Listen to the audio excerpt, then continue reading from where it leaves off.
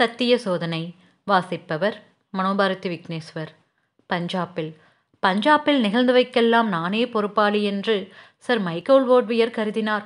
ஆத்திரமுள்ள சில பஞ்சாப் இளைஞர்களோ இராணுவ சட்டத்திற்கு என்னை பொறுப்பாளியாக கொண்டார்கள். நான் சட்டமறுப்பை நிறுத்தியிராவிட்டால் ஜாலியன் வாலாபாக் படுகொலை நிகழ்ந்திடாதென்று அவர்கள் சொன்னார்கள். நான் பஞ்சாபுக்கு வந்தால் என்னை கொலை செய்து போடுவதாக கூட அவர்கள் அச்சுறுத்தினார்கள். ஆனால் நான் பிடித்த வழி மிக நேரியதென்றும் ஆட்சேபத்திற்கிடமற்றதென்றும் நான் கருதினேன். அறிவுடையவர் எவரும் என் செயலை பிழைபடக் கொள்ள முடியாதென்றும் நம்பினேன். பஞ்சாபுக்கு செல்ல வேண்டும் என்று பரபரப்பு கொண்டேன். இதற்கு முன் நான் மாகாணத்திற்கு போனதே கிடையாது. அதனால் நேரில் சென்று நிலைமையை கவனிக்க வேண்டும் என்னும் ஆவல் மிகுதியாயிற்று. என்னை பஞ்சாபுக்கு அழைத்திருந்த டாக்டர் சத்யபால் டாக்டர் கிச்லு பண்டித ராம்போஜ் தத்தர் ஆகியவர்கள் இப்போது சிறைக்கூடத்தில் வசித்தார்கள். ஆனால் அரசாங்கத்தார் அவர்களையும் மற்றவர்களையும் அதிக காலம் சிறையில் வைத்திருக்க துணியமாட்டார்கள் என்று நான் எண்ணினேன். நான் பம்பாயில் இருந்த போதெல்லாம் பஞ்சாபியர் ஏராளமாக வந்து என்னை பார்ப்பது வழக்கமாயிருந்து வந்தது. இச்சந்தர்ப்பங்களில் நான் கூறிய தேர்தல் மொழிகள் அவர்களுக்கு ஆறுதல் தந்து வந்தன.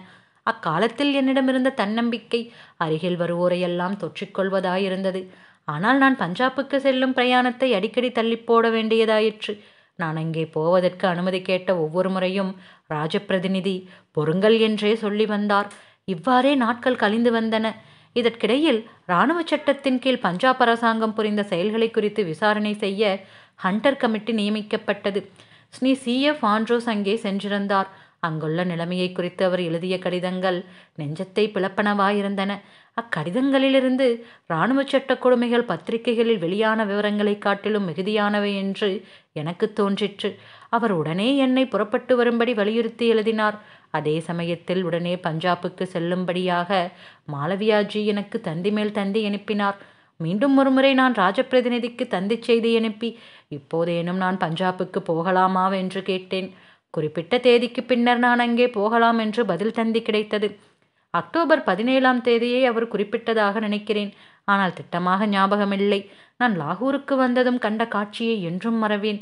ரயில்வே நிலையத்தில் ஒரு மூலையிலிருந்து மற்றொரு மூலை வரையில் எல்விளவும் இடமின்றி ஜனங்கள் நிறைந்திருந்தார்கள்.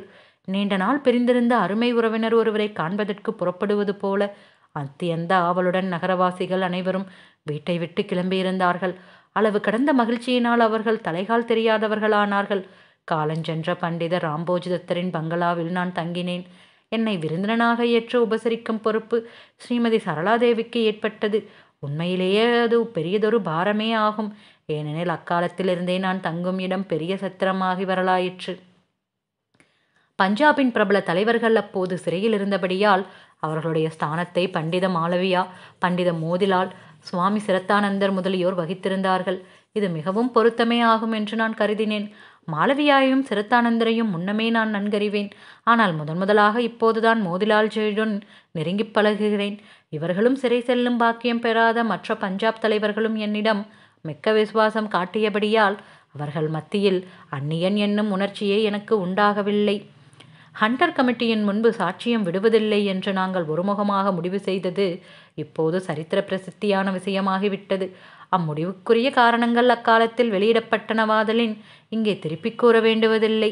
இத்தனை காலத்திற்கு பின்னர் அந்நிகழ்ச்சிகளை பற்றி சிந்தித்து பார்க்கும்போது மேற்படி கமிட்டியை நாங்கள் பகிஷ்கரிக்க தீர்மானித்ததும் அதற்குரிய காரணங்களும் முற்றும் சரியானவை என்றே எனக்கு தோன்றுகிறது.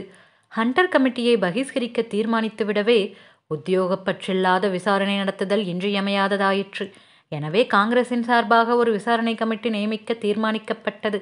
பண்டித மோதிலால் நேரு தேசபந்துதாஸ் அப்பாஸ் தயாப்ஜி எம் ஆர் ஜெயக்கர் ஆகியவர்களும் நானும் கமிட்டி அங்கத்தினர்களானோம்.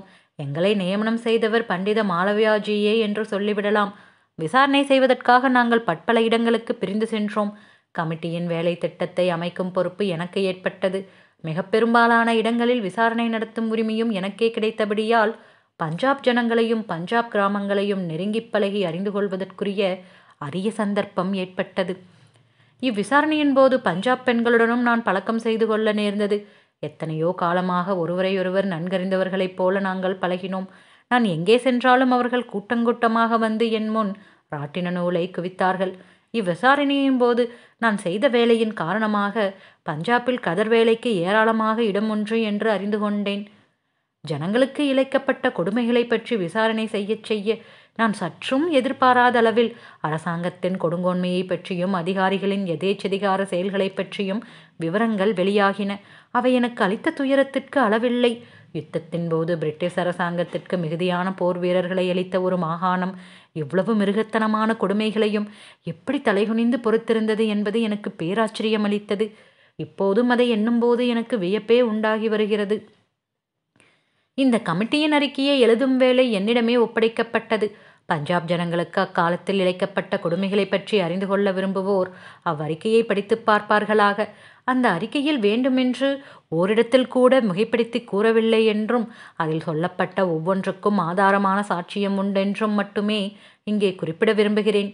கமிட்டியின் வசத்தில் கிடைத்த சாட்சியங்களில் ஒரு சிறு பகுதியே பிரசுரிக்கப்பட்டது.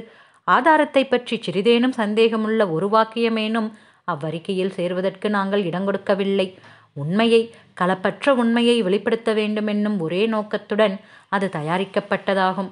அவ்வறிக்கையை படித்தால் பிரிட்டிஷ் அரசாங்கம் தன் அதிகாரத்தை நிலைநாட்டுவதற்காக எவ்வளவு தூரம் வரையில் போகும் என்பது தெரிய வரும் எவ்வளவு ஜீவகாருண்யமற்ற அநாகரிக கொடுமைகளையும் கையாள அவர்கள் பின்வாங்க மாட்டார்கள் என்பதை நன்கு அறிந்து கொள்ளலாம்.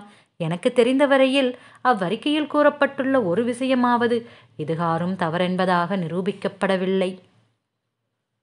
சத்திய சோதனை தொடரும்.